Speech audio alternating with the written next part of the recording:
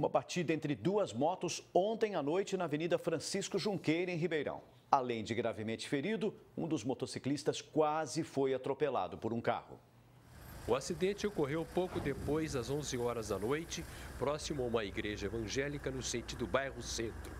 O motociclista foi socorrido por uma equipe do Grau, grupo médico de atendimento de urgência do Corpo de Bombeiros.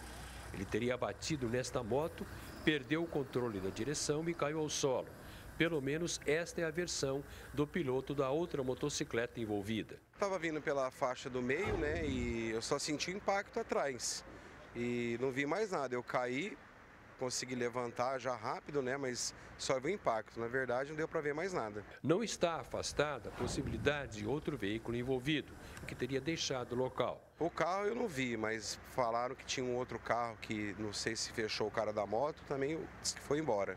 Motociclista Jorge Luiz Lima Filho, com traumatismo craniano grave, foi assistido no local durante mais de meia hora.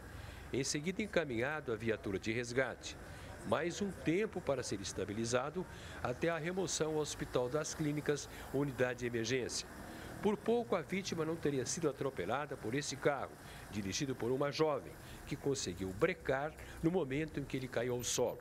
Ela brecou para não passar em cima dele, né? Porque na verdade ela ela estava vindo também na mão certa e no que, no que ele caiu ela brecou. Parece que ele não chegou a bater no carro. Não, não chegou a bater.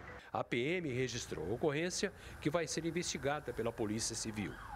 Luiz Fernando Luff para o Jornal da Clube.